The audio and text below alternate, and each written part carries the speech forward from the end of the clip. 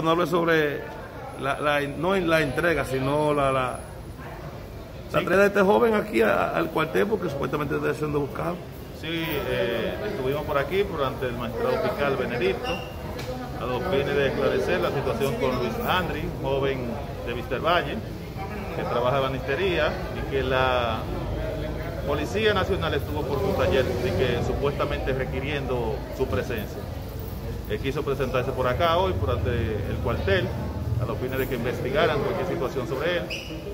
Y no ha manifestado el magistrado Benedicto de que, haciendo ya una experticia con las diferentes instituciones, de que sobre él no reposa ninguna orden de arresto ni ninguna situación delictiva que requiera su presencia. Por lo cual, él no hace entrega nuevamente de esa persona y queremos que quede constancia de que hoy, primero de diciembre del año 2020, él se ha presentado por ante las autoridades.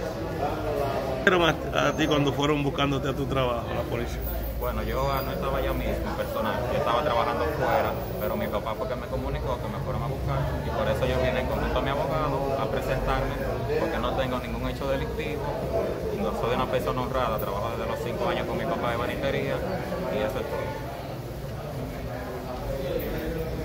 ¿Cuál es el nombre tuyo? Andri Alberto. ¿Cómo? Andri Alberto. André Alberto.